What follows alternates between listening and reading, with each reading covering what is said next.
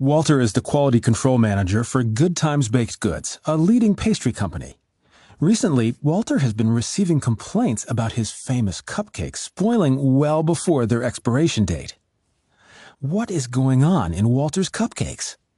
Mold seems to be growing quickly on Walter's cupcakes as a result of high water activity levels. Water activity is the amount of unbound water present in the sample. In other words, some of the water molecules are chained to chemical groups in the product itself and are not available to move freely.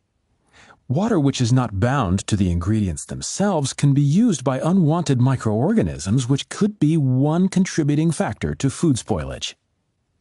Water activity is based on a scale of 0 to 1.0, with pure water having a value of 1.00. It is defined as the vapor pressure of water over a sample divided by the vapor pressure of pure water at the same temperature. In other words, the more unbound water we have, the more likelihood we have of microbial spoilage.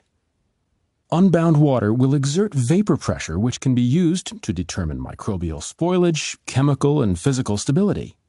In relation to cupcakes, a water activity measurement of 0.5 or lower would mean the likelihood of microbial growth is very low.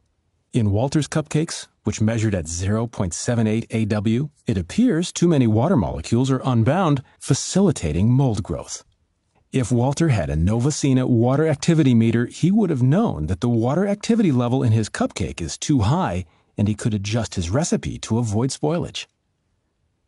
Walter's Novasina water activity meter is measuring the free water that can leave the product.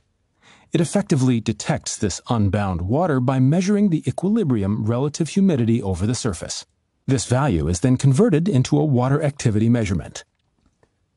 What makes a repeatable and accurate water activity measurement? In measuring water activity, wait until the sample has reached stability.